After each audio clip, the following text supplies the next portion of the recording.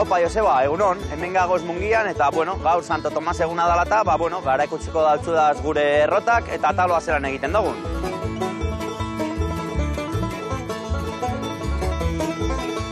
Niko indala hogei bat urte, nekazaritza eskolan ikasi eta gero, nekazaritzatik biziguran eban, orduan guk egiten duguna da, txarriak azten dugu, gero estebeteak eta egiten dugu, txorizoa, solomoa, urdie, e, odolostea bebai, eta gero hemen egiten dugu, hartoa geuk egiten dugu zati hon bat, eta egiten duguna da, hemen arrisko errota honetan e, hartoa birrindu, hor harri baten jartzen dago mila sortxirun da berrogeita iru. Honek haintxin haintxinekoak dira. Eta gero uruna lortzen dugunean, ba horrekin egiten dugu talo guztia.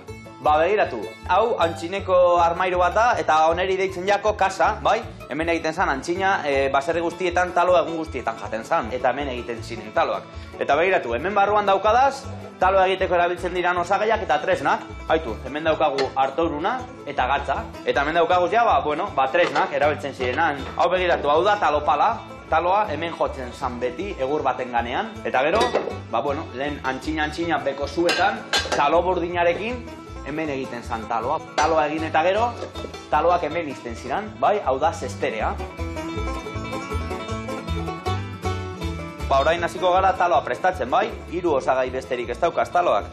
Arto uruna, ura eta gatza. Ura epela bada hobeto, bai, zenbat eta beroago, orea harina egingo dugu. Ordian botako dautzagu gatza purtso bat urari, mugitu, Talo egiteko sekretua hartoruna da. Hemeko arrasako hartoak erabili behar dugu, bai, varidadeak. Orduan, ba, bueno, ez dauka besterik harturuna una bada, taloa oso oso ondo egingo da. Ikusiko dozu, momentu batean egin da dago. Orduan, begiratu, zulo bat egingo dautzagu, urrepela gatzarekin, eta orain ja, nahazten hasiko gara. Santo Tomas azokan hasi ginen mila bederatzireun dalaro eta meretzi urtean. Bastakit ja badaragu sogeta bi urte, ia ia Santo Tomas. Eta bueno, guretzako Santo Tomas da azokarik nagusiena. Ala doan jente guztia, taloa janai dau, orduan, ba, bueno, azkenengo Santo Tomas egunean, bosteun da hoi bat kilo urunero angendu zan, eta azkenengo ordurako danak bukatu ziren, eh? Ba, begiratu, ja, badaukagu, orea erdi eginda, hemendik atarako dugu, eta nahazten jarraitu behar dugu, bai? Urun apurtxo bat gehiago botako dautzagu, Eta talo egiteko, ba, hori, zenbat eta gehiago nahaztu gozoa gortetzen da. Horea oso gogor gelditzen bada, taloa arrakaldu egiten da egaletatik. Eta oso bigun gelditzen bada, talo palan, ba, itzatxe egingo da. Orduan gelditu behar da hor, ez oso oso gogor, ez oso oso bigun, bai? Baina, bueno, honek ez dauka beste arazorik. Bigun badago, irina purtsu bat bota, eta oso gogor badago, ba, ura, eta nahaztu, no?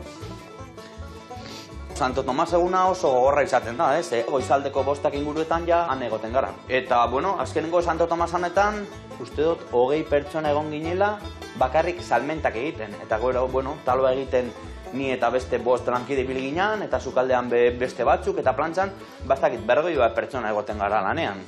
Goizaldeko zazpiterdietan edo ja jentea taloa jaten hasi zan, eh? Baina, hori eginda daukagunean, ja ez dago besterik, bolatxo bat egingo dugu, urunetan sartuko dugu, urun pizkatxo bat talopalan, zabaldu ondo, eta gero ja, astiro, astiro, talotxoak egingo dugu. Horea onda eginda badago, taloa ez da apurtzen, eta horrela hartzen dugunean, begira. Jente asko ara Santo Tomasera datorrenean, azaltzen dauzku Santo Tomas zergaitik izan dan, ezta? Bantxina, baserriak izaten ziran ugazaba batenak. Eta errentak ordaintzeko, baserriko produktorik onena hartzen ebesan, Bilbora edo bueno, edo Donostera joaten ziren, Santo Tomas egunean, arek danak saltzen ebesan, eta gero diru horrekin ugazabari errenta pagatzen eltzien.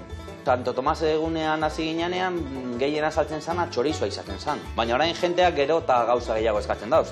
Txokolatea, solomoa, irugiarrea, odolostea bebai, bueno, danetarik apur bat. Eta orain ja, talo egin dugunean plantxara erango dugu.